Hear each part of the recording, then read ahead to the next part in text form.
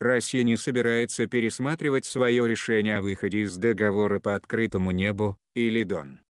Поезд ушел. Дамы и господа, если бы вы были реально заинтересованы в том, чтобы Россия осталась в Дон, вы бы действовали по-иному, минус заявил заместитель главы МИД РФ Сергей Рябков на конференции государств-участников Дон.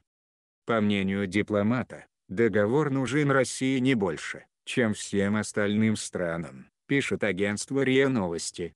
А попытка надавить на РФ опять провалилась, так как Москва всегда будет действовать только с учетом своих интересов и интересов союзников, добавил Рябков. Впрочем, Россия будет пользоваться правами и соблюдать обязательства участника ДОН до 18 декабря, заявил заместитель министра. Москва даже готова оплатить долю расходов в консультативной комиссии по открытому небу до 2021 году.